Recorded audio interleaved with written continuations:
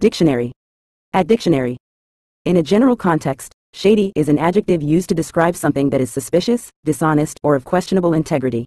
It suggests a lack of transparency or trustworthiness. For example, a shady character refers to a person whose intentions or actions are unclear or potentially deceitful. Additionally, shady can describe places or situations that might be unsafe or disreputable, such as a shady neighborhood, implying concerns about crime or unethical activities. This term conveys a sense of caution or skepticism, warning individuals to be wary of the subject being described due to perceived moral or ethical issues.